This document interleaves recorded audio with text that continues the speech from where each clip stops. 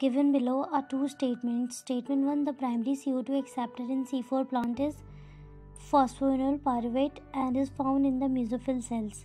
Correct है statement two है mesophyll cells of C four plant lack rubisco enzyme rubisco present होता है bundle sheath में statement one and two दोनों ही करेक्ट हो जाएगा तो इसका फ़र्स्ट ऑप्शन आ जाएगा आंसर ए अब जो क्वेश्चन है what is the role of large bundle sheath cells found around the vascular bundles in C four plants to increase the number of chloroplast for the operation of Calvin cycle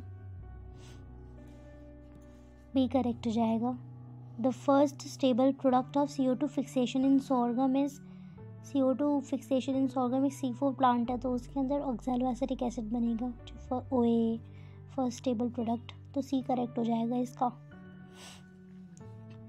phosphoenol pyruvate PAP is the primary CO2 acceptor in C4 plants. A correct है इसका.